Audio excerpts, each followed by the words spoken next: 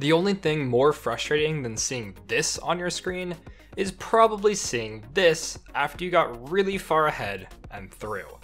Unfortunately, that's something that probably happens a lot, especially with Riot putting in mechanics like objective bounties, shutdowns, and catch up XP into the game. Comebacks happen now more than they ever have. Add low elo teams just not knowing how to end to the mix, and sometimes it feels like getting ahead early just doesn't matter at all. Fortunately for you, it does. It's just that oftentimes players are much worse at snowballing than they think. Today, we're going to address this issue with something that I've coined the 30 second rule, and you'll have a much better time making sure your games stay on track. And by the way, we created a brand new custom course specifically for this guide at skillcapped.com. It's there you can unlock an additional six site exclusive guides where we walk you through exactly how to apply the 30 second rule to escape the specific ranks you find yourself stuck in. Find out more along with the discount code at the end of this guide. Now, back to the video. To start this off, let's follow along with a Karma game that I played in Gold Plat Elo. I'll be using support examples in this guide, but this advice applies to every role. The game starts off with me playing pretty aggressively. After all, I'm Karma into a melee champion, so I want to abuse my range and poke to get push on the wave. I'm trading some health away and overall distracting the enemy bot lane with good spacing. They lose track of how many minions we've killed, so it sets us up for a pretty solid level 2 all in. We get Zeri's flash and chunk out our opponents really hard. And due to all of the resources that they lose here, they really have no hope of winning any fight that will happen afterwards. We are rewarded for our efforts, and now we can just push in the wave and hit plates, right? If alarm bells didn't start going off in your head from me saying that, it's probably because you never tried to apply the 30 second rule. But what exactly is that? The 30 second rule is actually incredibly simple. All you need to do is remember to ask yourself, will I be winning in 30 seconds? And you will avoid throwing a lot more often. That's literally it. I mean, okay, it's simple, but there is a lot more to the idea, so let's start exploring it. The reason why we need to ask this question all the time is that you will constantly find yourself in situations where you can go from winning one second to instantly losing in the next. This is true of pretty much any competitive game. It's almost impossible to just keep pressure up all the time from ahead. Whether it's because you're waiting on cooldowns to come up, you're up a stock but at high percent, or you're destroying your friends in Mario Kart and the blue shell exists. God, I fucking hate that item. All tangents aside, we should not expect to constantly have a winning game state in League. But a lot of players get cocky and end up dying for no reason because they try to do too much. At this point, our advantage comes from the extra gold and some experience that we got from the kill.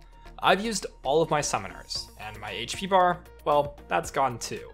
In 30 seconds, Zeri will be back in lane, having bought items and with full HP. Meanwhile, we'll be stuck not having cashed out on our first blood, and just having less HP than our opponents. Getting plates seems really tempting, Gold is great, obviously, but when you realize that more gold will do absolutely nothing to change the aforementioned problem, it no longer should be.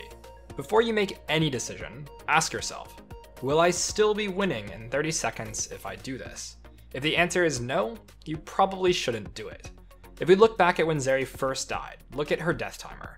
It's only 8 seconds. That's how much time it takes to press B and recall too. Conveniently, 30 seconds is also about how long the whole process of recalling and walking back to lane takes. So we have absolutely no spare time to hit tower here. Basically, there's no way that we can ever get back to lane before Zeri if we also want to recall. No matter what, she will always have a little bit of time to herself before we're there, even if we base immediately. However, because we will always be losing if we don't recall, we need to do it and the faster the better to minimize the amount of free time that Zeri has, because, well, more free time for her means less lead for us, and more potential to throw. If we didn't base here, we would probably just die in the 2v2 or be absolutely useless in the coming part of the game. But because we did, we come back to Braum being half HP, and having cashed out on Vayne's first blood, we're in a great position to fight over this freeze that's here for us. Zoning off of XP and CS is a very real possibility now that we have resources. If we took plates, this whole fight doesn't happen. And even if we could have had more gold, the harsh reality is that Zeri would have just crashed this wave, and then we couldn't use it to fight, at least not for a while. 30 seconds really is the magic number because it's also how long minion waves take to go from base to the middle of the lane. So instead of being able to recall, walk back with the minion wave, and fight them on this freeze like we did here, we would instead have to let them push this and the next wave into tower, have the next wave be slow pushing out, have to crash on the wave after that, and then have a wave that's pushing back out. Only after that wave would we be able to really fight and punish because we'd be able to force them to walk up and deal with our item advantage. If you were counting, this is 6 minion waves. By prioritizing recalling, we were able to be here to contest after wave 1. If we hadn't, it would be wave 6. If you remember how I said that it takes 30 seconds for a wave to get here, then some simple math tells us that it would take two and a half extra minutes to force our opponents to fight us if we base late. Is that amount of time worth losing for 80 gold each from a plate? Simply put, no. Even after this, we should apply the 30 second rule again in this situation and come up with what to do next. I'll let me from the past explain. Okay, same deal. We are not in a winning position once Braum comes back. So we need to try and get a base timer here, which means I'm gonna start pushing this wave back actually, instead of perma freezing it. Because when Braum does come back, we're gonna be on the back foot. Because I'm staying aware of the next 30 seconds and having the foresight to continue trying to stay ahead, we're able to minimize windows for our opponents to capitalize on. And through this, we can continue our snowball. If we had frozen there, it would have been good for a bit, but once Braum was back, we would have run into some problems. We can see exactly what kind of problems I'm talking about by looking at another game I played, this time on Pyke. We start off by getting pretty ahead in the lane. The first fight goes our way, even though I suck and miss my initial hook. After the play, we get to push in the wave, and we take a base immediately, all according to plan. We get back in lane in time to fight on the freeze with our item advantage, and the second fight, that goes well too. Except we derail a bit. Really, really good. Now we'll push out the wave again. So part of the reason why we don't want to maintain this freeze, again, is foresight, right? If we hold this freeze here and do not push the wave, and I'm just going to stun them because it'll give my minions more time to hit. Doesn't do damage, but still helps push wave. Um, if we do not push the wave in and get a reset timer, we will be on the back foot in the in the coming seconds. So I need to ping this and have Ashe help push. And if she decides to just go to Dragon and Int, then I can't do anything about it. There is a huge problem with what's happening right now. First, I at least need to recall. I have basically no health, and because of that, not really much of a reason to stay. Second, we left a freeze for our opponents.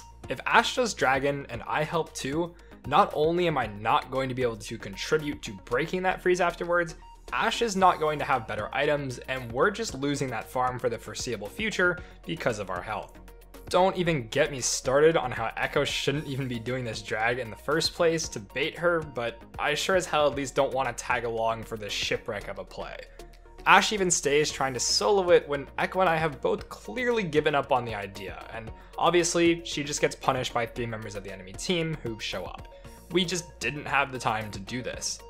Look, I'm not trying to flame my ADC. I really don't care because I simply don't expect people to understand at this elo. But it's clear to me from these messages moments later that it is something that warrants a guide on. The more people that know this rule, the more we'll avoid situations like this.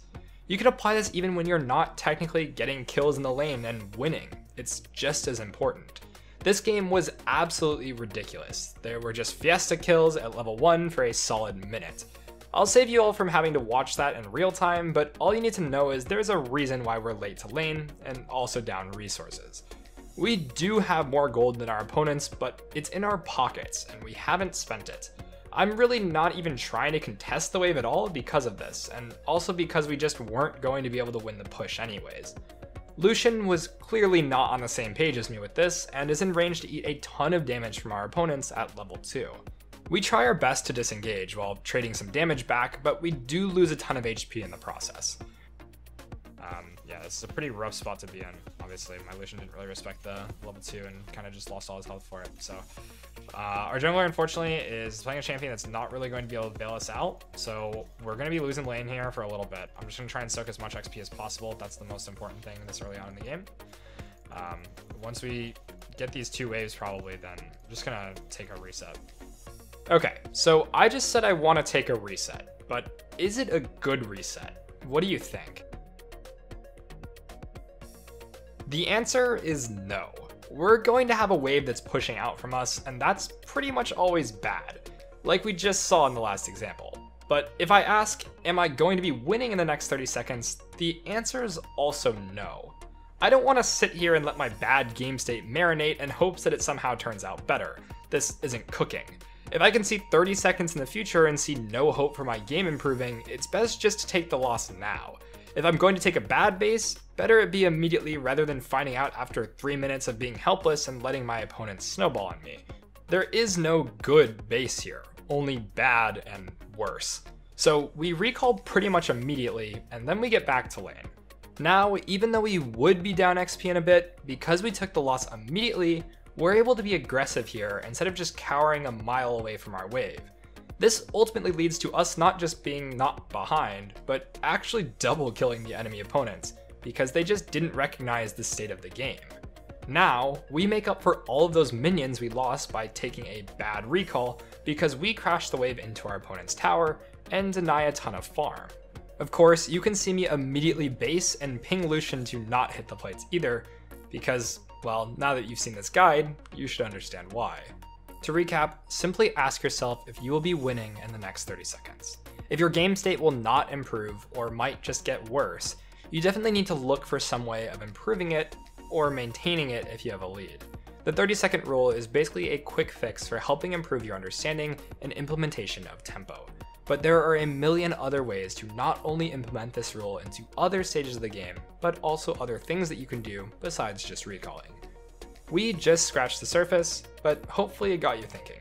Let us know in the comments below what your ideas are, as we'd love to hear it. And if you really want to start ranking up, then you need our brand new custom course made specifically for this guide at skillcap.com. It's there you can unlock an additional six site exclusive guides where we walk you through exactly how to apply this 30 second rule to escape the specific ranks you find yourself stuck in. That's not all though. With our brand new course page, it's as simple as clicking support, then selecting the macro category, and just like that, you have 11 courses, with over 50 guides breaking down how to outsmart your opponents so you can start climbing the ladder. Best part, all of this is risk-free with our rank improvement guarantee. So what are you waiting for? Head to skillcap.com and get the rank you've always wanted.